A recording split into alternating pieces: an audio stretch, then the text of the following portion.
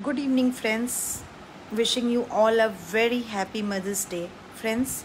Today I am here just to talk to my those mothers who are still struggling with subfertility or infertility or who have lost their children either in during the process of conception or miscarriages or after giving birth Dear moms or would be moms, I know this word has eluded you for very, very long, and you have been doing everything possible on this planet to listen to this word, whatever is possible. You have born, you have gone through all those painful comments without responding. You had swallowed all those very ugly pills you, your body is sore with so many pricks and injections. Your bank account is all drained because of getting this or that test done. You have been tolerating all those nasty comments and advices from each tom dick and harry as if whatever you are doing to just get a child is not enough. Somebody says you change your doctor. Somebody says why don't you adopt somebody is just advising you for go, to go for surrogacy as if you cannot decide for yourself what is good or what is better for you. As a woman and as your infertility doctor i can only say please please don't take it to your heart.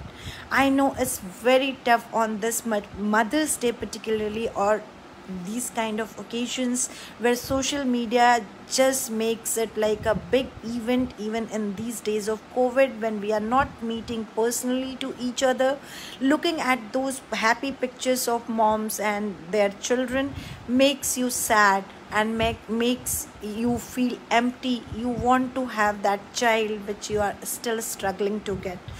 As your doctor as a woman as i have said my heart reaches to each and every one of you.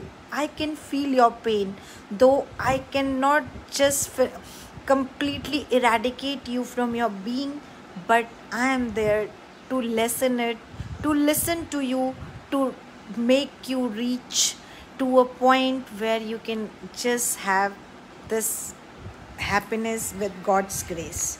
So, First of all, I want to tell you, you are not alone in this journey of yours. There are many, and please, please stop blaming yourself for it's not a problem for which you are responsible. It's like any other disease which has occurred to you. You are unfortunate to have that disease, but it's not your fault at all. So stop punishing yourself. And today, on this Mother's Day, I honor you.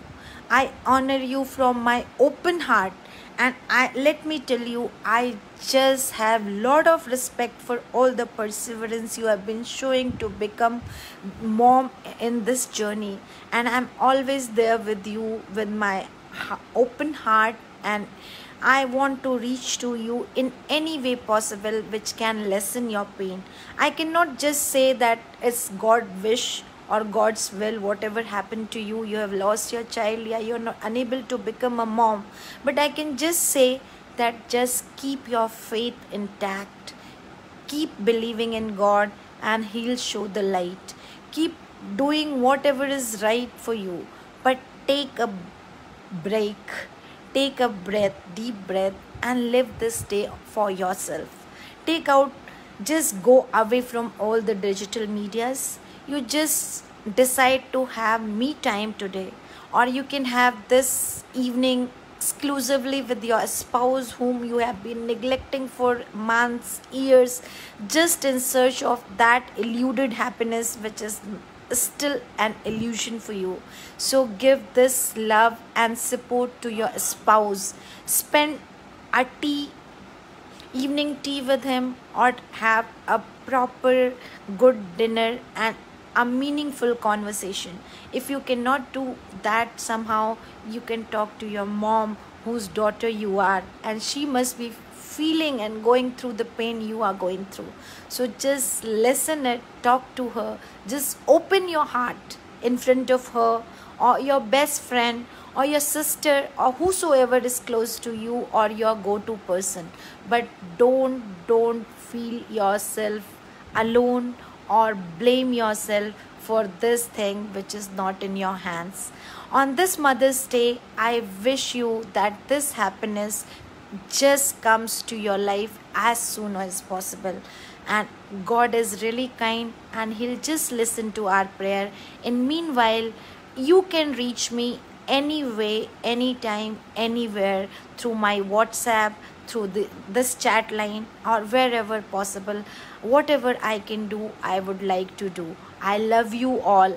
I wish you all a very happy Mother's Day and happy Eid in advance.